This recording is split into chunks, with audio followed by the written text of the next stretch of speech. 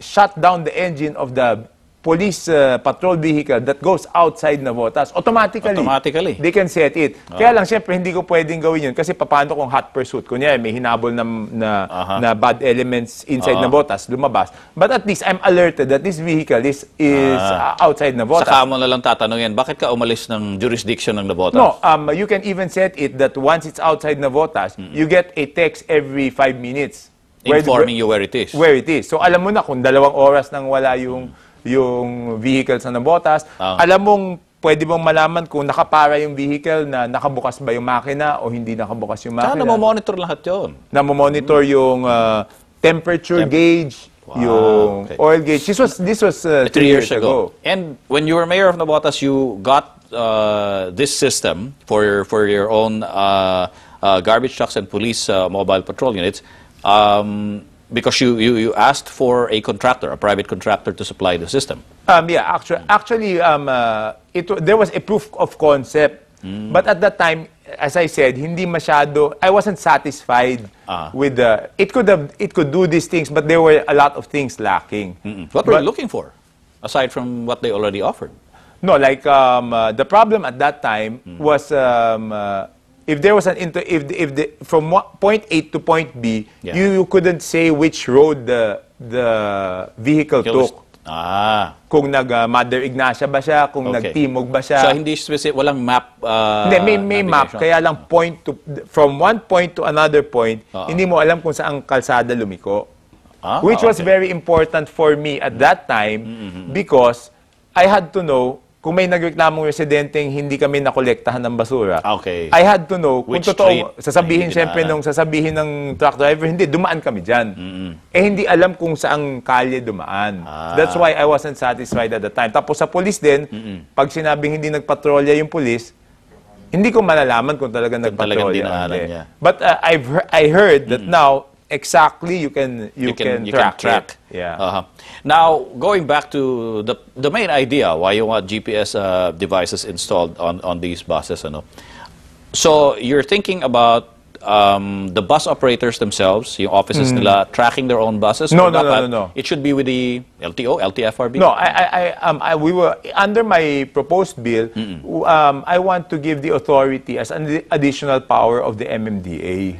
Ah, so MMDA ang mag admin mag mag, mag-oversee. mag-oversee. But Oo. um, my idea was that um, MMDA bids it out so that there will be no no and and the vendor or the supplier gets his uh, payment out of the fines Okay. so that there will be no money out for government. Because the problem with technology is yung I'm scared of the obsolescence. Eh. Yeah. You you buy technology today, you buy an iPad today, there's iPad 2 now. Yeah. When will iPad 3 come out? 'Di ba? So yun yung problema doon. So that's why even in the bill I did not specify GPS. I just said any electronic device that can do this uh, these functions. Okay. So that uh, government, when it bids it out, has the leeway. And government will not be tied up with an obsolete kind of technology. Okay. Pero so far, I guess uh, GPS has been working for maybe the past 10 years or more, and it's still one of the more effective tools in tracking uh, the location of a vehicle or a person. Yeah, so that's why we just have to to make the the bill move faster because uh, you know lawmaking we have to listen to Yeah. all to all sides. How much was the GPS device three years ago that you used for your garbage trucks and your police patrols? Actually, we did not have to pay for it kasi proof of concept pa lang eh. Ah, so parang ano, eh, Parang uh, experimental parang lang na parang trial. pinademo lang nila. Pinademo lang sa amin. Pero for three years, nagde-demo? No, no, we, we used it for one month. One and month. They, they they tried to fix the kinks, but they couldn't really. uh, Because you wanted more detailed uh, routes, no? Kung saan no, I, re- I I specified that I wanted this. Yeah. So sabi nila, use it so that we can fix it while while you're using it.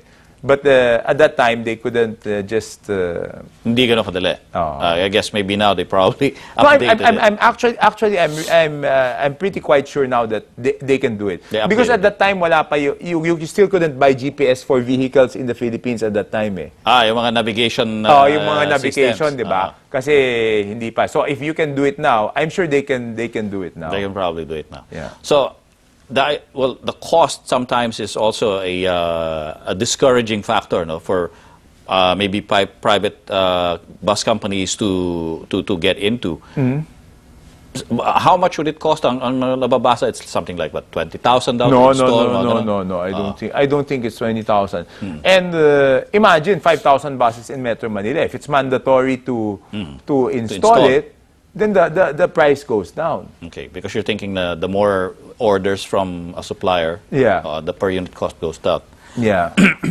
Well, at this point, um, and of course, of course, sorry, sorry to Yeah, go ahead, go ahead. No, and of course, for it to fit the the software of government, Hmm. it will have to be an accredited um, GPS tracker. Eh.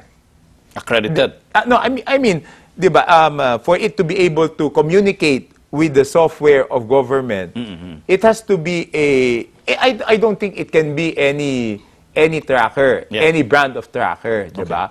So it that will bring down the price also. Mm. Because it has to be what? Proprietary na software. Yeah, Ah. di? The government has to buy the software, Mm-hmm. so the, the software must be able to communicate with the Mm-hmm. with the GPS tracker. So there will be specifications that Okay.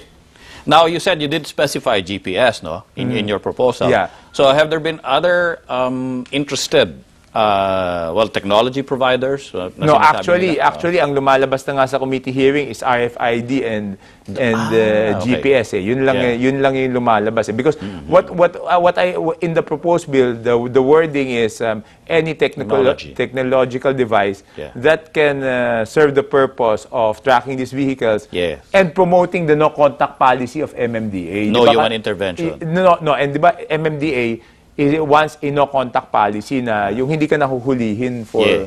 for the ano for the violation. So that's Right. what that's what we wanted. The problem with RFID um, I think during that time it was the most modern technology, but it's based on proximity, di ba? Oo. It's the Al- same as the, yeah, although- RFID is proximity. Eh. Yeah. Although we've we've featured RFID on Future Perfect uh, a couple of seasons back, and uh, as was presented to us, there are some RFIDs that do transmit a wider or longer uh, signal path. So it's actually possible to track them even if you're maybe 10, 20 meters away uh, from the vehicle itself. Ah, okay. Yeah. But that's, but that's, an good. interesting thing also. Th- that's good. That's why, that's why um, the wisdom of the committee is not to put the name of the technology so that the, the government agency tasked to implement this Yeah. will be able to find the best technology that is available at that time. Hi- hindi sila limitado lang Hindi doon. sila tali. Oo, hindi doon, sila tali. Hindi, hindi sila matatali doon sa technology yung spine. Kasi kung mapasa, alam alam mo naman yung pagpasa ng batas. After after Cong, oh, after the lower house, it, it has to go to the Senate. Yeah, yeah. What if by the time that it's signed by the president, there's new Iba na technology, yung technology, yeah. There's a newer technology, then we'll be will be will will have to settle with the te- technology that is specified in the bill. Kasi hindi rin natin pala ma-predict, Congressman, ano? baka naman mamaya dyan, eh, in not the near future, lahat na ng vehicles eh, equipped with GPS. Hindi na siya Possibly. accessory, di ba? So you don't Possibly. even have to install. Nandun na siya. Possibly. Factory installed na. Pa, pa, hopefully, hopefully. Uh, maybe just a few tweaks para you can uh, monitor specific fleets, ano? mga bus lang, di ba? Private vehicles, hiwalay. So, in in Congress, saan na ngayon ang progress nung uh, Ah, nasa hearing? comi- na, na- nasa committee nasa committee level. Okay. Then uh, we'll will be on recess uh, after June next week. 6? Um, no, June uh, Thursday, June 9 ba yun? June 9. June 9, yeah. Okay, and uh, kami. So when we go back, Yeah. we'll have to fast track it. Meron na bang counterpart sa sa mga se- senador? Sa se- Senate, Senate, no, wala na, na, pa. none that I know of. None that I Pwede know kasi masyado pang uh, nakatuon ng mga tao sa RH at divorce eh. Ah. Yung Hindi, GPS. um, truly, truly, because it's a it's an important issue also. Like when I before I left Congress uh, this uh, this evening, it was uh, still RH. It's still being debated. Nasusunod dyan, Congressman, yung, mga lalaki daw, kakapitan ng GPS para alam ng mga misis kung saan sila pumunta. Ah, eh, paano natin alam hindi pa tayo kinakabitan? Ay, Eh, malay mo rin naman, di ba? Baka naman may, may kinabit ng uh, GPS. Hindi mo pa alam habang tulog ka. Yun lang ang problema. Congressman, thank you very much uh, for coming to Future Perfect and we will keep track not by GPS, of uh, the deliberations at your committee, and hopefully we'll see how this kind of technology is implemented for our public util- utility vehicles. Yeah, yeah, but I hope I can give my last words. Yeah. We, we, we just want to pilot test it in Metro Manila. Cool. Um, we're not, we're not, uh, we don't want it for the whole Philippines because we, we have to see the kinks also, Sure. di ba? That's why nga yung bill is uh, centered in Metro Manila because this is where um, most of the buses are. Right. Dito tayo may problema sa, sa dami ng buses. So we will try it out. Then hopefully, if, if it's successful, Yeah. then the LTO can implement it uh, nationwide. Give us a call when you're ready to pilot test it. Okay. Congressman Toby Chanko, thanks very much for coming to the show. Okay. Uh, coming you, up, we delve deeper into vehicle tracking through GPS, and if you fancy yourself as an Indiana Jones, or for the female persuasion, a Lara Croft, there's a GPS game just for you. Keep it here on Future Perfect.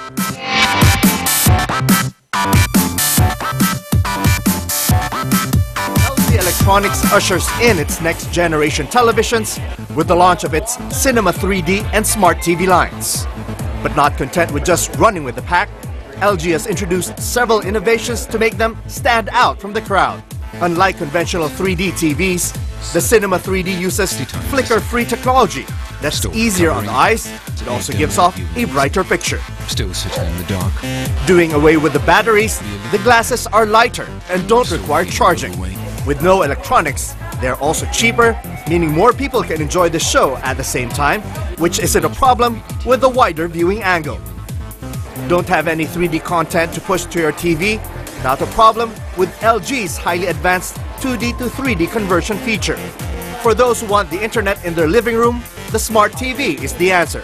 It all begins with a home dashboard, which lets users quickly and easily navigate through their entertainment options. An optional Magic Motion remote control does away with the button mashing and makes controlling the TV a point-and-click operation. As you would expect, shortcuts are available for some of the more popular sites like YouTube, Facebook, and Twitter. But LG has also partnered with ABS-CBN for an embedded I Want TV application to allow users to watch their favorite entertainment shows anytime, as well as news clips from the largest broadcast news network in the country. News and entertainment are now definitely within reach by Filipinos with technology. Some other countries may have reached and embraced this technology earlier than we did, but what's important is that ABS-CBN together with LG have partnered to make this available in the Philippines. We are taking these steps for the Filipino people and we hope that you continue to be with us as we offer better content and access to our audiences.